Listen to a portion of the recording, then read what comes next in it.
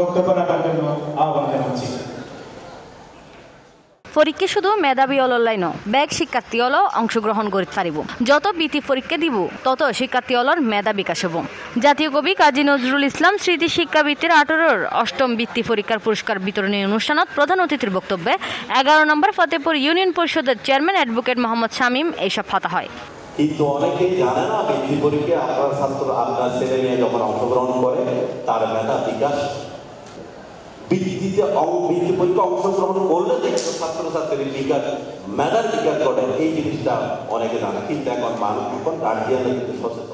শুক্রবার সেপ্টেম্বর বিশ তারিখ বিকালে চট্টগ্রাম বিশ্ববিদ্যালয় আইন অনুষদ অডিটোরিয়ামের হল রুমত এই অনুষ্ঠানের আয়োজন করা হয়। এডে বেন্নে চিত্রাঙ্কন প্রতিযোগিতার আয়োজন করা হয়। প্রতিযোগিতাত বিভিন্ন স্কুলের শিক্ষার্থী হল অংশগ্রহণ করে। এই সময় ঐতিহ্যবাহী এই গবেষণা সংসদের পক্ষতুন বৃত্তিপ্রাপ্ত শিক্ষার্থী হলের মাঝে নগদ অর্থ, ক্রেস্ট ও সনদ বিতরণ করা হয়।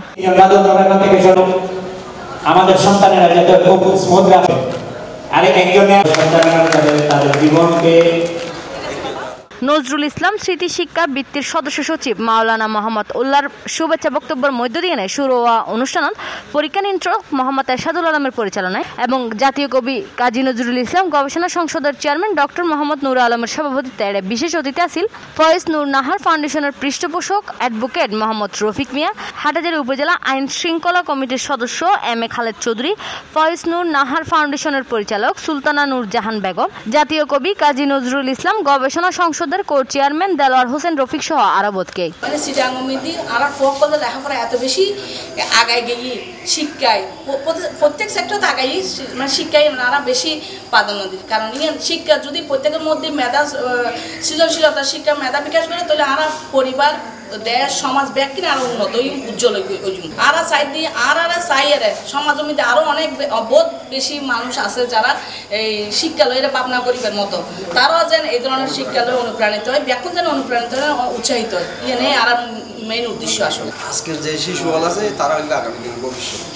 শিশুরা যদি মেধা যদি মানুষ উৎসাহিত করা হয় তাহলে শিশুবল আগামীতে যাই রাষ্ট্র পরিচালনার বিভিন্ন কাজের মধ্যে অংশগ্রহণ করিয়ে তারা মেধা ইনারা কাজে লাগে মূলত শিক্ষা যদি ফসল লাভ না করে সমাজের মধ্যে আলোকিত মানুষ সৃষ্টি আলোকিত মানুষ সৃষ্টি হতে গেলে শিক্ষা হচ্ছে প্রধান খাতির। It's a great instrument for the life, not only for the himself, but for the nation also. জাতিরলেই শিক্ষাই সব ক্ষেত্রে ফসল লাভবান বলে আরাম মনে করি আলোকিত মানুষ সৃষ্টি করলে সমাজ উন্নত করলে রাষ্ট্র উন্নত করলে ইয়ে নিয়ে আরাম মনে করি। ডেক্স নিউজ সি প্লাস টিভি